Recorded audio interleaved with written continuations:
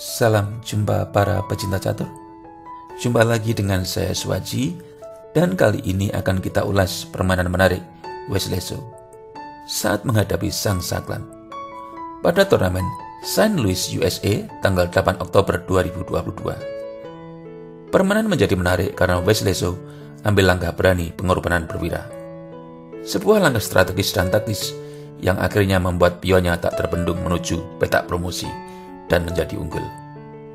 Bagaimana indahnya permainan di papan? Mari kita simak partainya bersama. Wesleso mengawali permainan dengan pion E4 dan Sam Sangklan menjawab pion C5. Sebuah pembukaan Sisilia. Kuda F3, pion D6, pion D4. Pion pukul pion D4, kuda pukul pion D4, kuda F6, kuda C3. Setelah Sangklan mendorong pion ke A6, terlihat variasi Nadov. Untuk menambah wawasan kita terhadap variasi Nadov, coba saya bandingkan antara Wesley So dengan Bobby Fischer saat menghadapi posisi ini. Tiga pilihan utama Bobby Fischer dalam merespon posisi ini adalah gajah ke C4, pion ke H3, dan gajah ke E2. Sedangkan Wesley So umumnya memilih pion H3, gajah E3, dan gajah ke E2. Dan di sini Wesleso memilih gajah E2. Pion E5.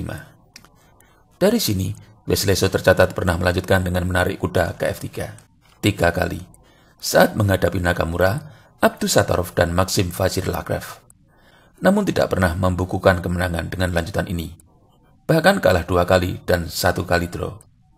Dan dalam permainan kali ini, memilih menarik kuda ke B3 sebuah langkah yang pernah memberinya kemenangan saat menghadapi Duda pada turnamen Chess.com Speed tanggal 19 November 2020. Lalu Sangklan mengembangkan gajahnya ke I7 agar bisa rokade. Setelah putih rokade, hitam pun juga rokade. Gajah E3. Sebuah pengembangan gajah ke petak yang paling strategis. Dan hitam pun melakukan hal yang sama dengan mengembangkan gajahnya ke E6. Posisi ini juga terjadi pada partainya Wesleso saat menghadapi Duda yang saya sebutkan tadi. Namun waktu itu Wesleso memilih melanjutkan dengan mendorong menteri ke D2. Yang mana setelah Duda mengembangkan kudanya ke D7, Wesleso melanjutkan mendorong pion ke A4. Namun dalam permainan kali ini, Wesleso memilih menggeser benteng ke E1. Dan setelah Sangkan mengembangkan kudanya ke D7, Wesleso juga mendorong pion ke A4. Menteri setuju pion A5 untuk mengamankan petak B6. Benteng F C8, gajah F3, pion H6. Langkah prophylactic untuk keamanan raja dan Wesley melakukan hal yang serupa dengan mendorong pion ke H3 dengan alasan yang sama. Pion B5, pion pukul pion B5 dengan empasong, kuda pukul pion B6, kuda A5 untuk memantau peta C4 dan C6. Benteng A B8 mengincar pion B2. Maka dari itu Wesley So menarik gajahnya ke C1 untuk melindungi pion ini. Kuda C4, kuda pukul kuda C4, gajah pukul kuda C4, gajah E2. Menawarkan pertukaran gajah peta terang putih yang lebih lincah dibanding gajah peta gelapnya. Gajah pukul gajah E2, benteng pukul gajah E2, menteri B7. Melindungi pion A6 yang lemah. Dan Wesleso menambah tekanan terhadap pion ini dengan mendorong menteri ke D3. Lalu Saklan menambah perlindungan terhadap pion A6 dengan mendorong benteng ke C6. Pion B3. Memperbaiki formasi pion sehingga gajah putih bisa lincah dan tidak terbebani melindungi pion ini. Gajah D8, Raja H2, Gajah B6, Kuda D1 gajah D4. Reposisi gajah ke petak pusat sekaligus menekan benteng. Lalu Wesleso mendorong pion ke C3 untuk menekan gajah. Benteng B C8. Bila pion pukul gajah, maka benteng akan pukul gajah C1 sambil mengontrol baris belakang. Maka dari itu, Wesleso tidak memukul gajah dengan pion dan memilih langkah gajah D2 untuk memperkuat pion C3. Pada posisi ini, Menteri pukul pion B3 juga layak dipertimbangkan untuk mengepin pion dan menteri. Sehingga gajah D4 kebal dari pion. Dan bila benteng ke B1 untuk menekan menteri, menteri hitam bisa menghindar ke A3 agar tetap bisa menjaga pin terhadap menteri. Setelah menteri putih menghindar ke G3, agar menteri yang kena pin ini juga mendapat perlindungan, gajah hitam tentu sudah tidak kebal lagi dari pion, maka bisa menghindar ke C5. Tampak posisi hitam cukup nyaman. Namun dalam permainan aslinya, Sangkan memilih gajah A7. Lalu Wesleso mendorong bentengnya ke A3 untuk melindungi pion B3. Gajah C5 mencoba menekan benteng, dan Wesleso mendorong pion ke B4 balik menekan gajah. Gajah A7. Pion F3 memperkuat pion pusat serta memperbaiki formasi pion. Benteng D8, gajah E3 menawarkan pertukaran gajah sekaligus memberi kesempatan benteng bergeser ke A2 untuk menambah tekanan terhadap pion lemah A6. Dan setelah gajah hitam menghindar ke B8, benteng putih bergeser ke A2 untuk menambah tekanan terhadap pion A6. Pion D5, kuda F3, benteng D C8. Tentu pion D5 ini beracun. Sebab bila pion pukul pion D5, maka pion hitam akan ke E4 skak yang akan menyebabkan Menteri Putih jatuh. Maka dari itu, Wesleso memilih gajah C5, menempati sebuah peta yang lebih aktif. Gajah D6, gajah pukul gajah D6, benteng pukul gajah D6, benteng pukul pion A6.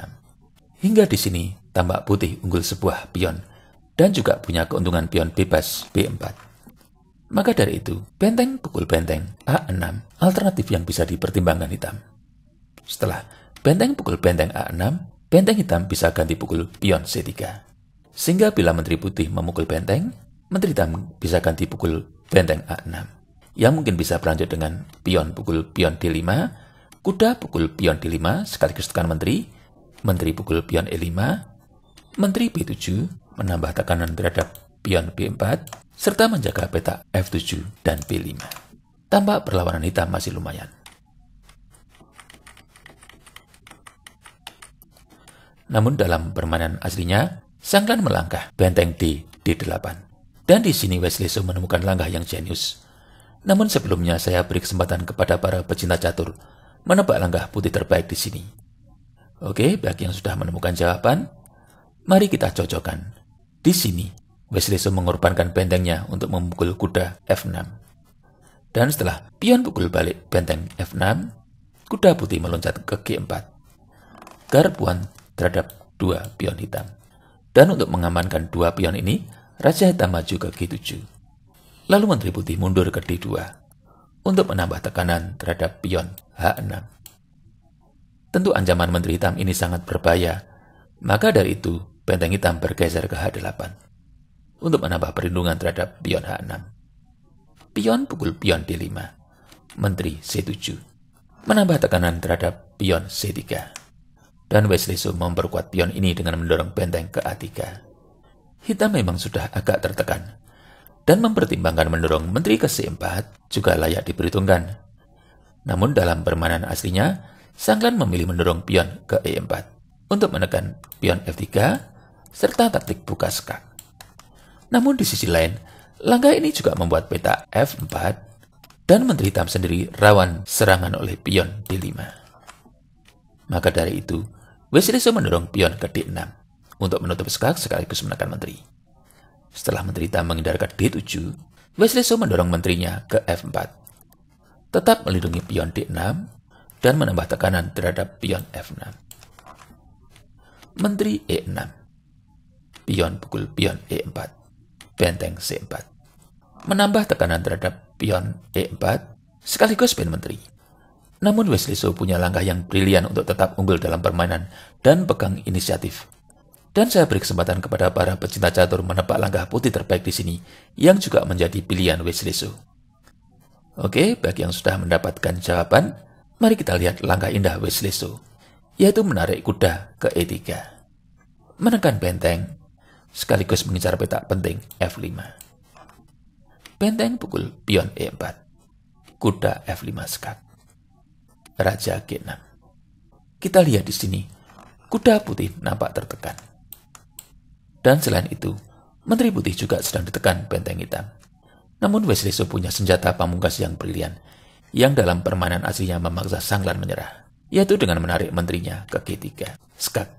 Walau kuda putih di F5 gratis. Bagi yang ingin analisa lebih jauh, bisa tetap di sini.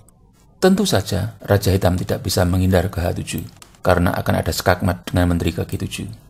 Demikian pula juga bila menghindar ke H5, akan kena skakmat dengan kuda ke G7.